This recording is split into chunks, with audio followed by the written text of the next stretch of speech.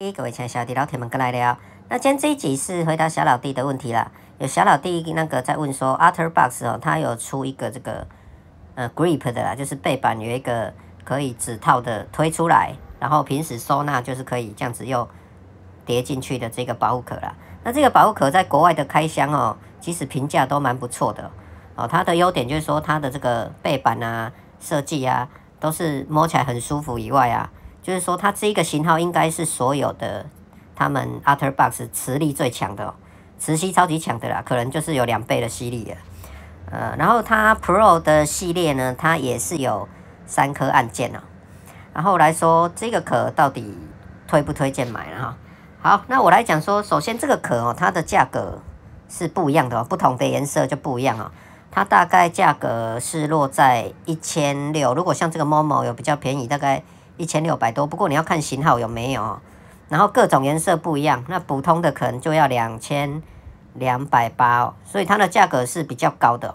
然后再来就是说，这一个壳我可能不会去入手，我会跟你说原因哦，就是你要看说你到底自己有没有这方面的需求啦。比如说它这一个可以伸缩的这个指套，它其实是可以三百六十度的去旋转哦。不过国外的就是说它旋转有时候你收纳的时候。你去碰触的时候，它会有声响啊。And it just spun real easy and kind of wiggled and moved a little bit easy. So，就说你们有的人，如果你的手机你你没有办法接受说，呃，有的人是说他那个按键，如果你说按键会那种咔咔咔的声音，那国外的评测都会发现说，它这个后面这一块，它并不是收下去的时候不是很紧密。我收到那种小老弟的私讯，都是说他们没有办法接受这种声响的话，或者有时候我们对于这种咔咔咔声音。就没有办法接受，那你这个你就不能买了。然后再来就是说，它的这个伸缩的这个，它其实是没有站立的功能。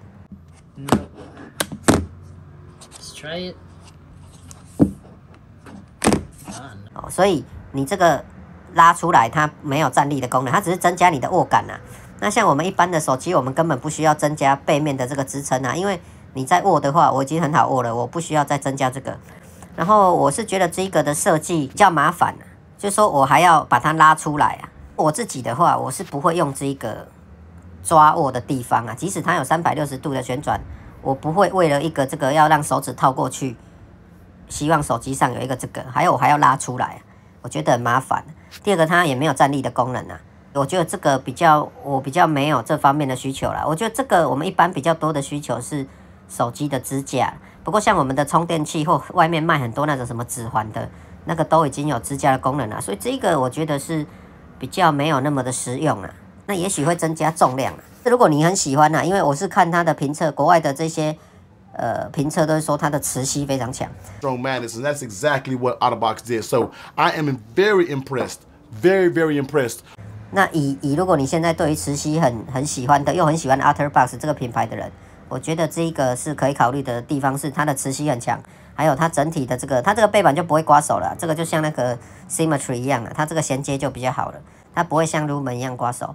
所以如果你是 utterbox 的粉丝，我是觉得，然后你喜欢磁吸很强的，这个是可以入手。那至于它后面这个手指头要不要套过去的，我就不是那么的推荐的啦。还有就是说，它可能会有一些声响，或会动来动去，会咔咔咔的声音啊。我如果买，我会买黄色的，可是它黄色的。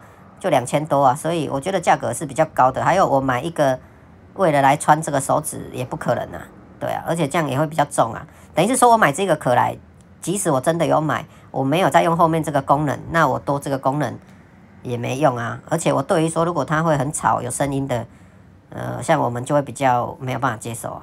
建议是可以买 Symmetry 啊，Symmetry 应该是会比较实用，可是 Symmetry 也是价格偏高。那 Lumen 的话。又会刮手，所以 OtterBox 这一次我就比较没有什么再入手啊，那所以就跟各位去分享了。不过你如果是喜欢的，你就可以试看看，那你再留言跟我们分享你的经验。好，那今天这里就到这了，希望对你会有帮助。